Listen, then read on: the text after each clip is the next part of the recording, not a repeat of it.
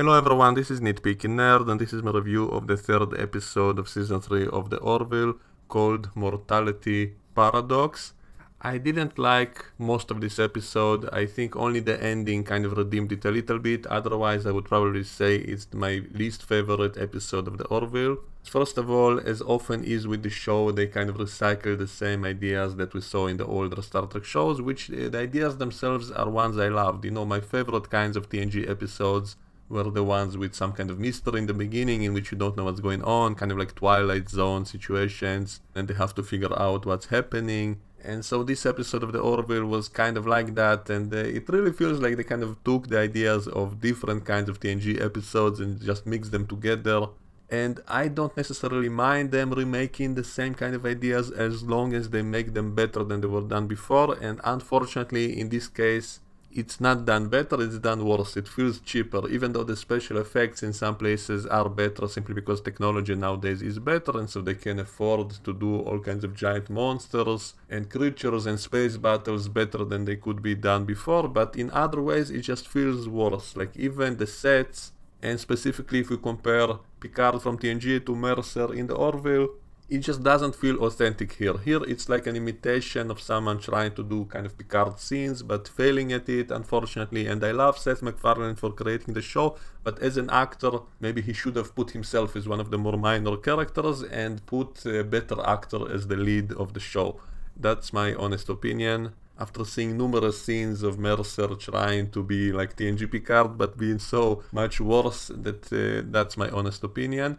And so this episode felt like a mix of all kinds of scenes we saw in TNG, all mashed together into this new version, and it was still much worse than it was done before, and so that was disappointing. So I kind of hated most of this episode. I think uh, I could have ranked it as the worst Orville episode, if not for the ending, which kind of redeemed it, because I did kind of like the ending, which also didn't really feel that original, because it was also the same kind of idea that we saw in TNG. Basically, they made their own version of a Q-like entity, which also existed back in TOS. You know, there was a Trelane and there was that Metron who appeared to Kirk after the Gorn fight, uh, who revealed it was all basically kind of a test of humanity by a more advanced species who watches over them and stuff like that. So the Orville made their own version of that kind of idea, and that was actually done well and maybe in some ways even better because they also had kind of a personal relationship with the crew of the Orville. So that kind of explains something which was never really explained uh, in TNG, for example, why the Q had specific interest in humanity and Picard specifically. Like there was no real reason for why it should be them specifically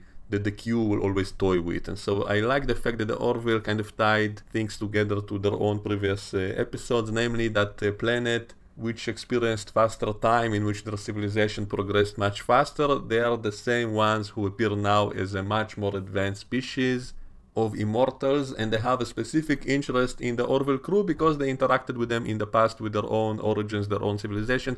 And also visually I kind of like the look of that alien, kind of reminds me of the Tron costume. And also the first time I saw her, when I saw those little uh, dots flying all over her suit, and she started telling them about how they encountered the Orville crew before. For a moment I thought they were going to tie it with those uh, two-dimensional aliens, which uh, also had those kind of glowing dots flying all over the place, and so I was hoping that will not be the case, because that would be kind of stupid. How would two-dimensional aliens evolve into humanoids, or are they just pretending to be a humanoid and to interact with them? That probably would have been a little bit too much and not really that realistic, so I am glad that they went with the idea that these are the offspring of those same people from the planet in which time was moving faster, who the Orville crew interacted with and accidentally started the religion there and all of that, and that will explain why these people are interested in these specific people who interacted with their own civilization in the far past from their point of view, and also it will explain why these advanced uh, aliens didn't really exist before. They only came into the existence from the point of view of the rest of the galaxy. Only now they became that advanced and maybe in their next appearance they will be even more advanced, they will be literally like the Q, the most advanced beings in the galaxy, because for them a lot of time passed, and so technically they should be the most advanced species in the whole Orville universe.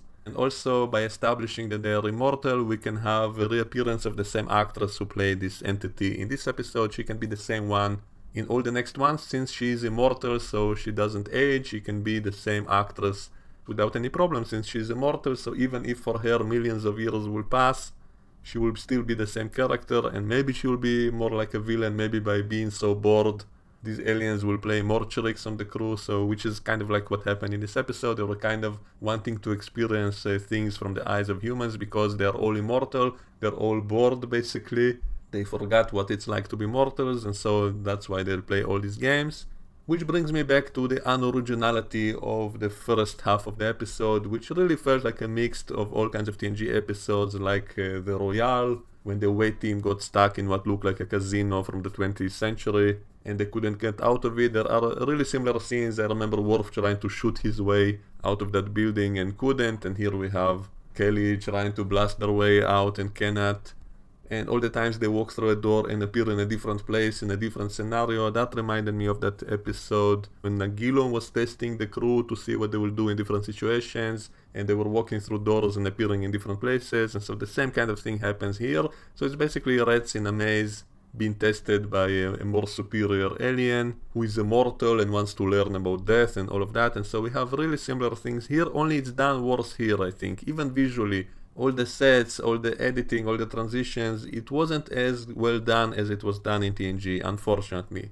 Except maybe a few places in which some giant CGI monster will show up, like first some kind of giant orc and later a sea monster, Cthulhu with tentacles, and so visually maybe those places are better, but overall it felt cheaper, it felt worse than it was done in TNG because in TNG they always did it in a creative way, in an interesting and funny way. And also speaking of being funny, the Orville kind of stopped uh, doing humor almost completely. Like there are very few laughs, there are very few jokes in the show anymore and I think that's a mistake. I much preferred the first season of the Orville in which they were uh, more funny and more enjoyable overall. Even though some of the jokes were kind of silly, it didn't always land, but overall it uh, just felt better. And also humor is a way to excuse away some of the silliness. When you have all kinds of silly situations humor makes it uh, easier to accept it all and to enjoy it all. But uh, here it's all played completely straight as if this is a totally real situation and with uh, very little humor and jokes throughout. And so it made it all feel kind of dry and boring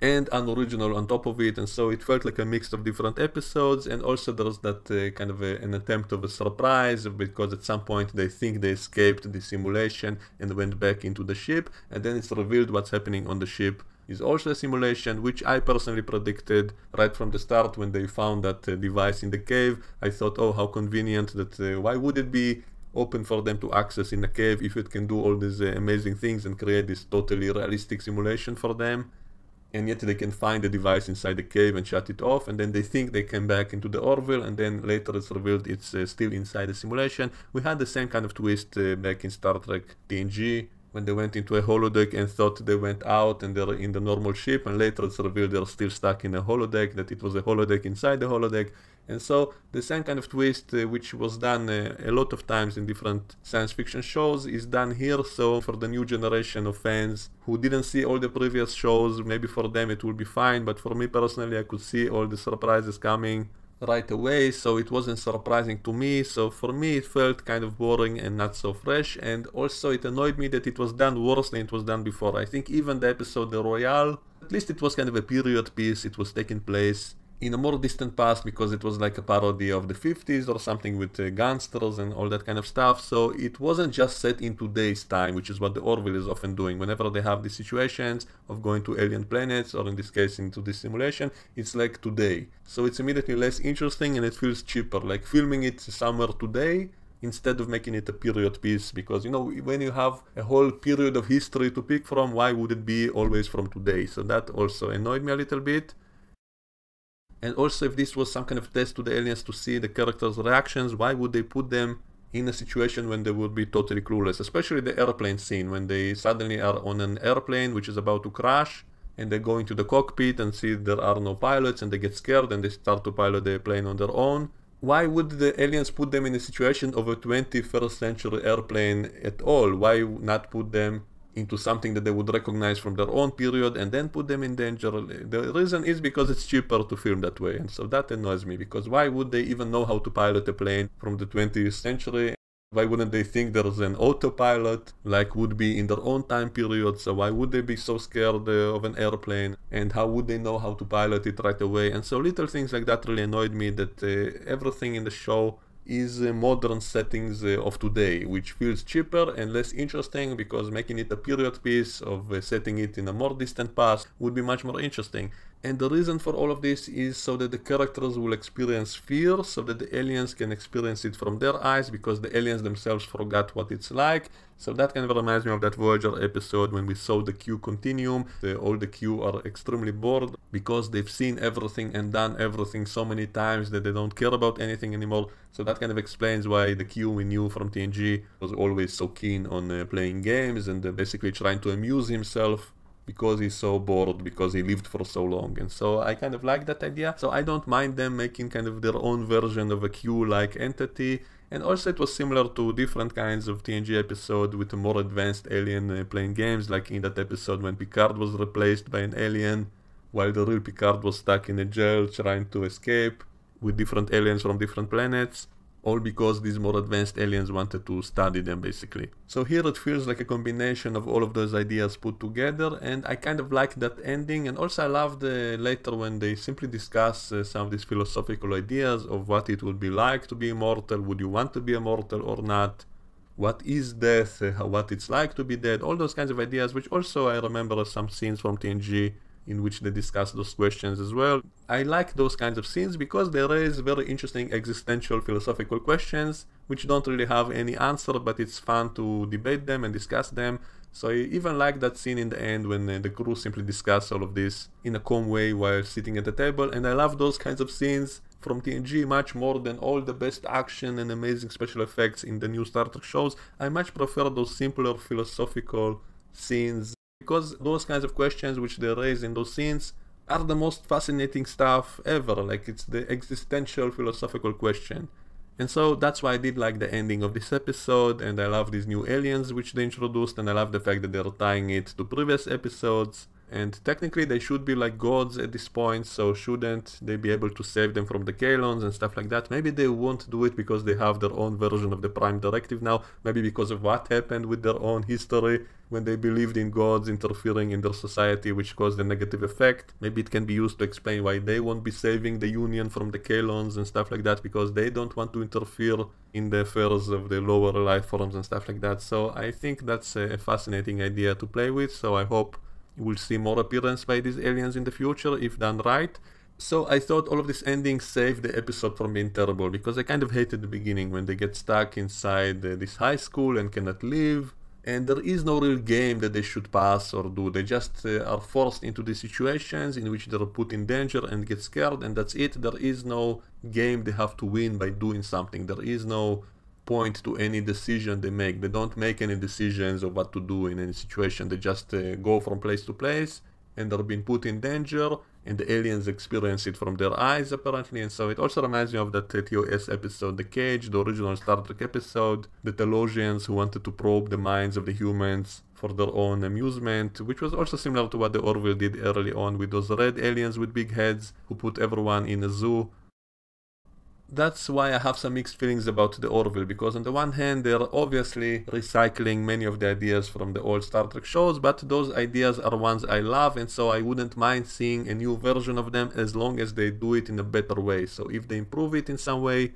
either visually or acting wise, or with new kind of twists, or with humor, if they make kind of a parody of it, they do the same kind of setups but do it in a funnier way then it can be worth it. But if they just do an imitation of it and it's a lesser imitation, if it's done worse than it was done before, then it only serves to annoy me.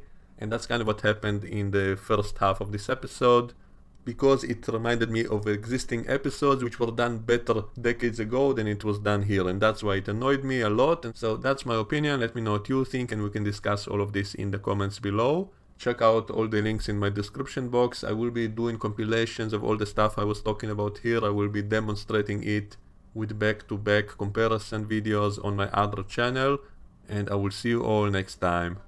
Bye bye.